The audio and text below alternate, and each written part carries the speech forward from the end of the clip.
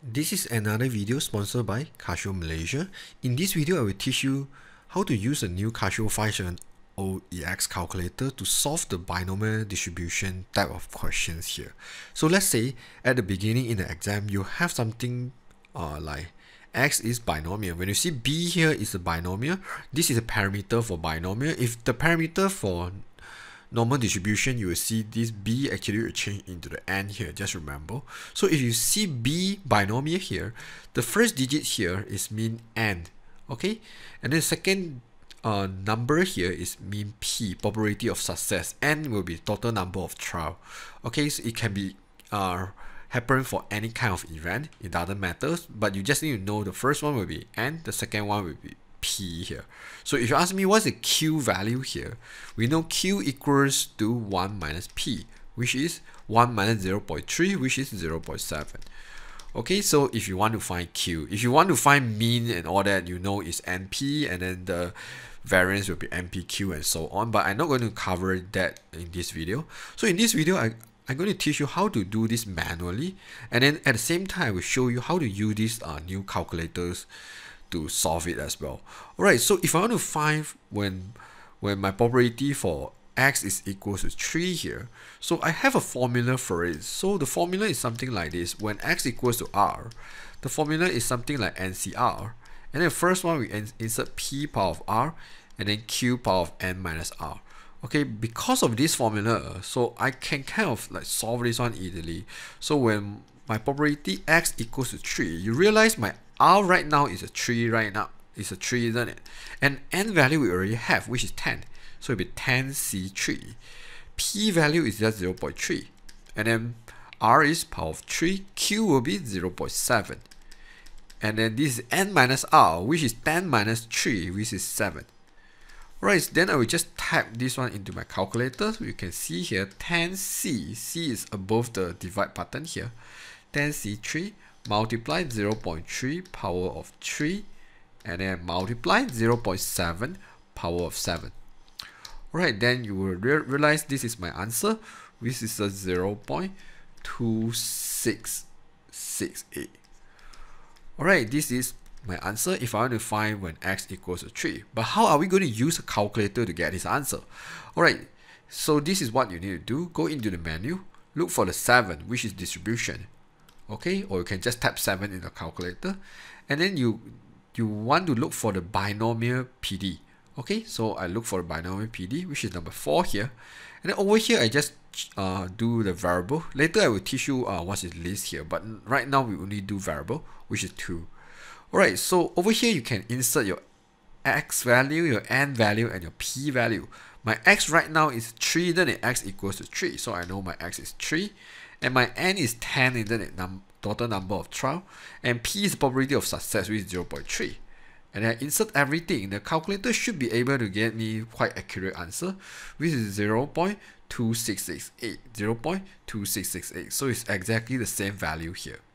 Okay so we go into the second example it will be more complicated because when it say when x is less than 3 x is less than 3 right? So what you want to do is you kind of know uh, you need to list out all the value less than 3 then it? It can be uh, x equals to 0 because 0 is less than 3 and then you kind of need to plus the second one maybe x equals to 1 and you kind of need to plus another one uh, which is x equals to 2 because less than 3 doesn't include 3 right? So I no need to plus x equals to 3 so I'll just leave it here Okay, then each of these one, I need, kind of need to apply this formula for each of these. Okay, so I, I will just show you here, uh, which is the first one is 10C0, and then P is 0 0.3 power of 0, and then 0 0.7 power of 10. Because 10C0 is 1, and 0 0.3 power of 0 is 1, so I can say the first one is just 0 0.7 power of 10. So 0 0.7 power of 10 here. Okay, then the next one is x equals to 1. So I will do 10c1 plus 0 0.3 power of 1 and then 0 0.7 power of 9. Alright, then I plus the next one, which is 10c2 0 0.3 power of 2, 0 0.7 power of 8. Yeah, it's kind, kind of a lot of work here. Then I will need to uh, solve it. So I change my calculator back to the normal. So the first one is is okay, just 0 0.7 power of 10 here. If I want to change the decimal, definitely I can do that if I want. So it's uh 0 0.0282. Okay, then the next one is our 10C1. I will just tap 10C1 and then multiply 0 0.3 power of 1 multiply 0 0.7 power of 9 here. Okay, so the second one will be 0 0.1211. Alright, I write, write it off. The next one is kind of similar, so I will just go back, change my 1 into the 2 here. It's going to save me some time. So this one will be power of 2, isn't it? So I just give you a square here. And then the next one, this one will be power of 8, right? Because it's 10 minus 2, which is 8 here. So then I type equals, then I have 0 0.2335. And then we'll plus everything together. So I will use the last answer here, plus 0 0.1211 plus 0 0.0282. Alright, then I plus everything already. I will have 0 0.3828. Okay, this is my final answer after I plus like every single one. But definitely, if I want to use a calculator, it's going to save me a lot of time here. But like what I always say in my video is calculator is for you to check your answer, but then you kind of need to always show this working in order to get your full mark. Remember that? But then the good thing about calculator, we can always make sure our answer is correct or wrong. Okay, so you can see what's the difference between example 1 and example 2? Example 1, the sign here is equal, but for the example 2, the sign here is less than. This sign we call inequality sign. We call inequality sign. That means not necessarily less than, it can be bigger, it can be bigger, it can be less or equal, or bigger or equal. Okay, it can be any of this sign or, or just less here. Okay, but then in order to do this in the calculator, you need to understand how the calculator works here. Okay, I will go in the menu. I go into 7, which is uh, distribution. Just in case I too fast, I just, just show you the distribution here. 7. Okay, then over here, you need to look for the binomial CD, not PD. Okay, PD is for equal sign. CD is for inequality signs. Then I need to come down here. So do you see binomial CD? I go for 1. Okay, then I'll go for the variable, which is 2 here. Okay, now you have some problem here. Okay, of definitely you kind of you kind of know your x value is 3 and then n value is 10, p value is 0.3 but it's not exactly correct here. And you realize another problem is you, there's no way for you to key in the inequality sign into this calculator. So therefore you kind of need to know what's the preset for this calculator. So for this calculator the preset ready the x value must be less or equals to a. That's means if if I do something like x is less or equals to 3, then the answer I find is between uh, I will plus the probability x equals to 3 plus the probability x equals to 2 plus the probability x equals to 1 and then plus the probability x equals to 0. That means this is what happened when I, if I insert 3 here. And because of you understand the preset one have the equals for the inequality and it must be less than okay because it's preset already so over here you cannot insert the 3 for your x here. Because like what I say if you insert the 3 here it included the x equals to 3 but in this case you do not want x equals to 3 isn't it? So when you insert that time you cannot insert your x is 3 you need to use 2 because what? Because if I change my x will be less or equals to 2. This is what I will get. I will get x equals to 2 plus x equals to 1 plus x equals to 0, isn't it?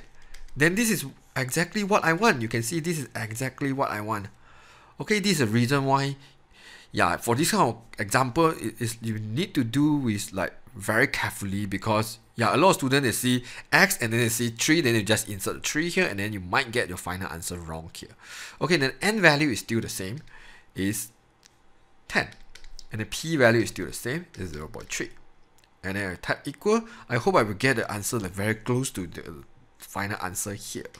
So the calculator will tell me is 0 0.3828 which is exactly the same answer I find here. Okay like what I said just now there's a list button right?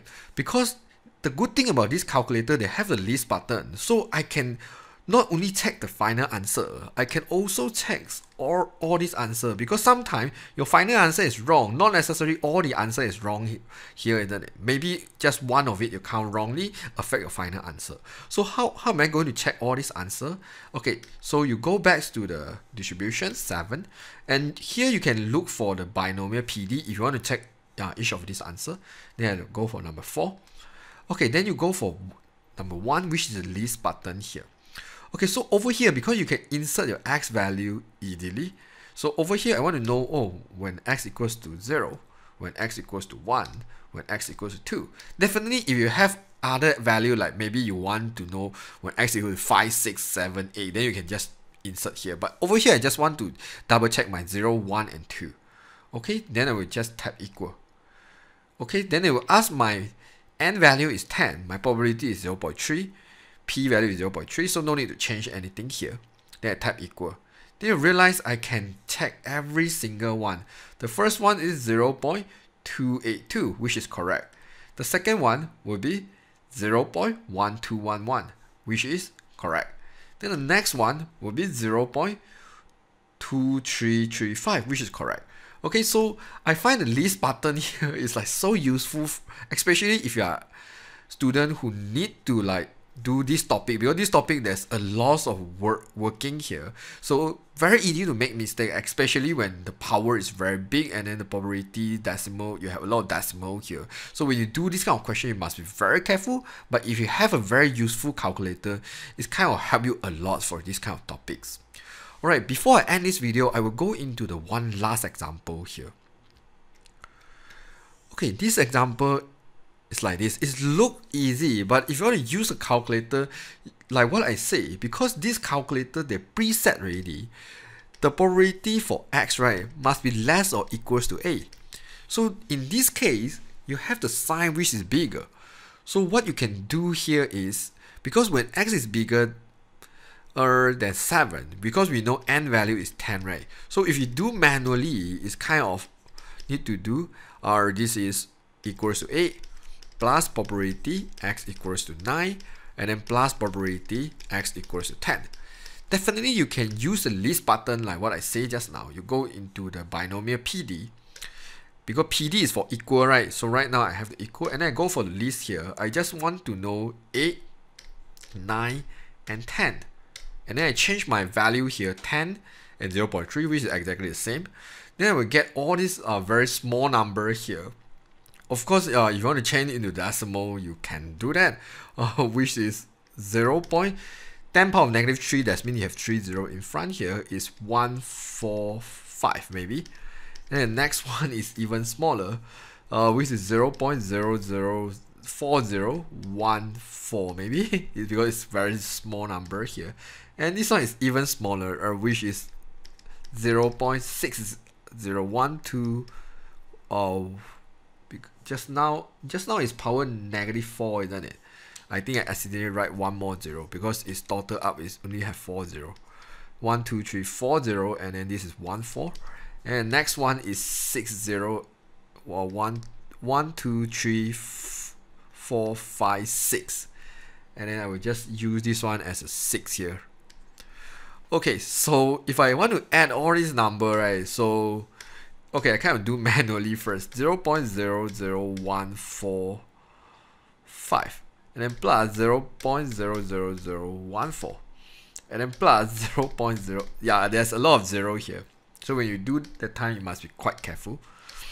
Okay so this is the answer we get uh, which is 0 0.001596 okay this is what I get from a calcul uh, calculator if I do manually but if you want to use a calculator to do this uh, there's few things you can do because you know it's less than equals to a right so what I can do is I can use the 1 to minus the probability x must be because this one start from uh, start from 8, right? Start from 8, right? That means I can do less or equals to 7. Basically here, this is what I'm doing here is I will use 1 to minus 7, 6, 5, 4, 3, 2, 1, and 0. Then I will get uh, 8, 9, and 10 in it. So what I will do right now is I will go to the distribution 7, come down from binomial CD, 1 here and go for variable. My x value here I will do 7. And then n will be 10. And then this one will be 0 0.3. And the calculator will tell me some answer here, uh, which is 0 0.9984. Alright, then I will just, just use the 1. I just go here. Use the 1 to minus 0 0.9984 then I will get the answer actually is quite close here. Yeah definitely I cannot get like super accurate but then I believe it's accurate enough. 0016 so you re realize if I round off the 9 to, toward the 5 here I kind of get 1 6 right? So which is the same answer as well alright so this is just another methods to do this kind of questions.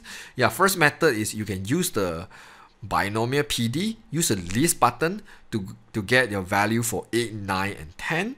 And then you add add them up manually.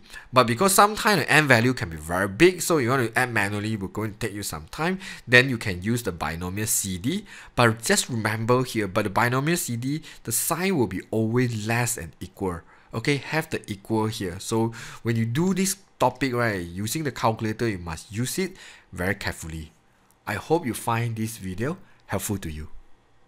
If you are interested to get this calculator, I will share a Shopee link at the description below. The link will bring you to the Casio official store. So for right now, the Casio Malaysia are doing some promotion. Whoever want to get this calculator from their official store, they will free you a Casio L file. I believe you know what is Casio L file. Basically, it's a plastic file which you can easily insert some paper here. Besides that, Casio Malaysia also will give you another 5 ringgit discount as long as you key my voucher code here. I also will provide you a step-by-step -step guide here. So in order to use the voucher, first you need to go in the Shopee website and then at the search button over here, you just type Casio. You should be able to see something like search Casio shop. You click on it and then you should be able to see the Casio official store and then click on it and then you should be able to see the Casio scientific calculator over here. Just in case you cannot see, you can go into here, search in shop over here, you just tap 570EX and then the Shopee website will actually bring you to the calculator and then click on it and then just click buy now. And then over here there's two places for you to insert your voucher code. First place is over here. You can see the more voucher. The second place will be over here the platform voucher. Okay the platform voucher is for the voucher uh, provided by Shopee and then this voucher is provided by Casio Malaysia. And then over here you can insert the voucher code I provide which is the Casio Mat and then you just click on apply. I already apply, so you can see like 5 ringgit off, minimum spend of 70 ringgit. So after that, you should be able to see the price from 79 reduced to 74. If you have any question, feel free to post at the comment section below or else I will see you guys in the next video. Bye bye.